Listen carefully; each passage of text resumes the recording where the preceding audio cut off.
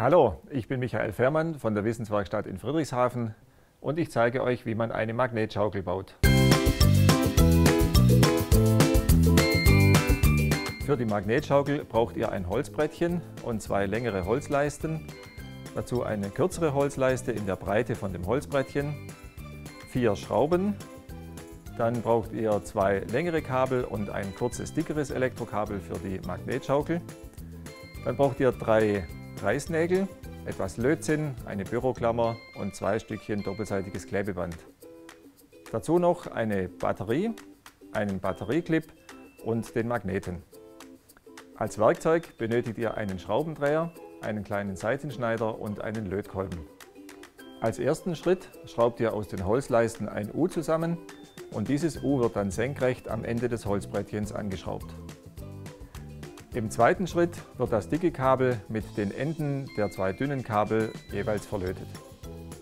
Nun könnt ihr die Schaukel aufhängen. Die beiden dünnen Kabel werden jeweils an der Seite um die Holzleisten gewickelt. Dann drückt ihr die Reißnägel ins Holzbrett. Nun werden die Enden der Kabel mit jeweils einem Reißnagel verlötet. Jetzt drückt ihr den Batterieclip auf die Batterie und klebt diese mit einem Stück Klebeband auf das Holzbrett.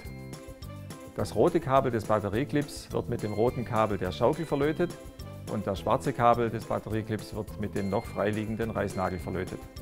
Die Büroklammer wird mit dem schwarzen Kabel des Batterieclips verlötet. Am Ende klebt ihr den Magneten mittig unter die Schaukelstange.